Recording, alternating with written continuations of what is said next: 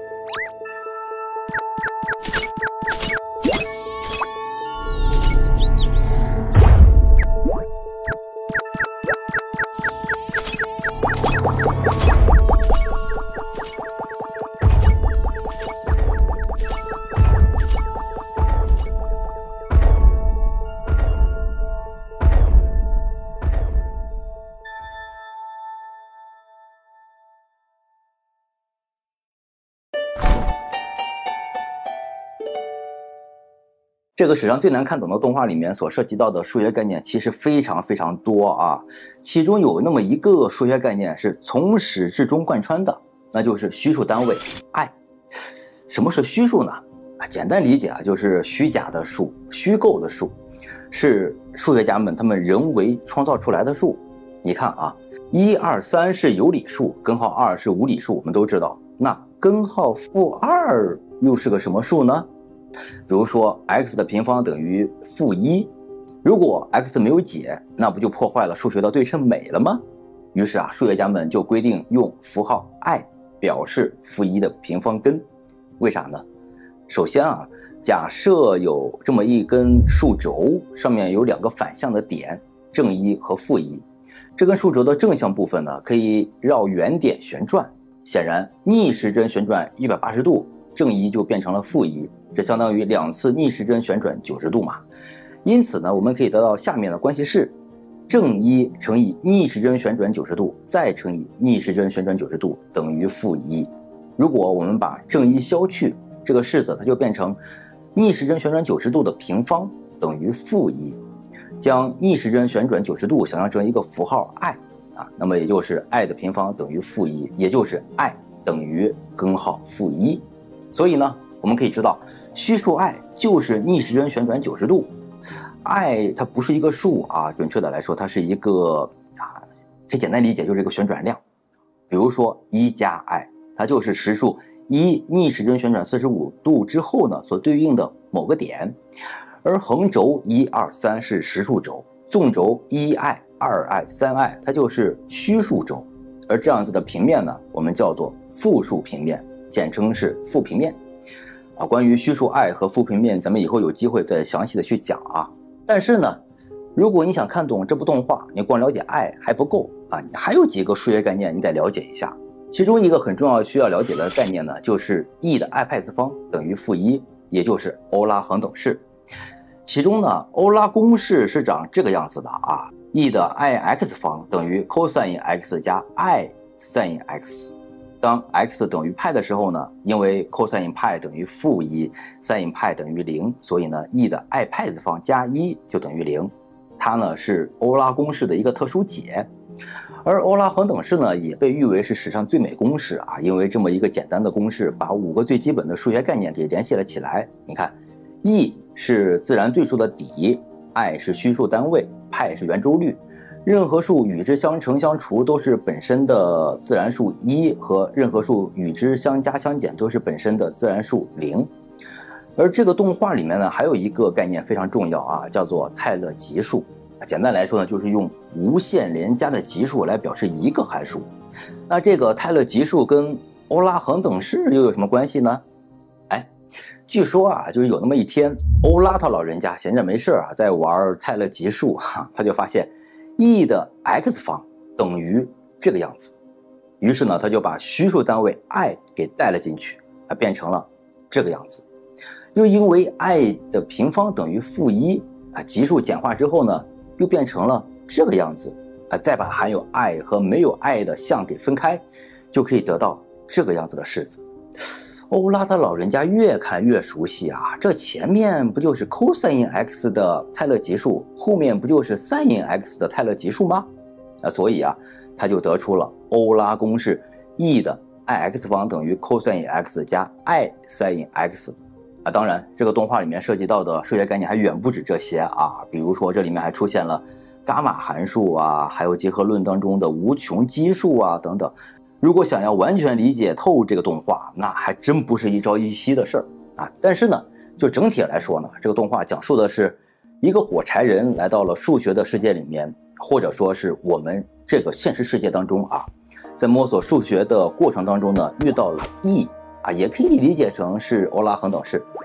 E 啊，试图用一个 i 逃跑，可以理解成想逃跑到九十度的虚数空间当中，结果呢，被火柴人扔了一个。又旋转了九十度，回到了实数空间当中，然后两个人呢是一顿的厮杀，E 变出来了一个 i，又想逃跑到虚数空间，这次火柴人啊是跟他一起钻了过来，所以啊世界旋转了九十度，但是虚数空间开始坍缩了，为了拯救 E，火柴人变出了个 i，再次回到了实数空间当中，火柴人告诉 E 说他在找一个门，E 不理解呀。于是呢，火柴人用英语 exit 表示他想逃离这里。接着 E 给他说，i 的四次方就是一啊，也就是四个九十度，旋转三百六十度。但是这个门也没办法帮你逃离呀。火柴人很失望。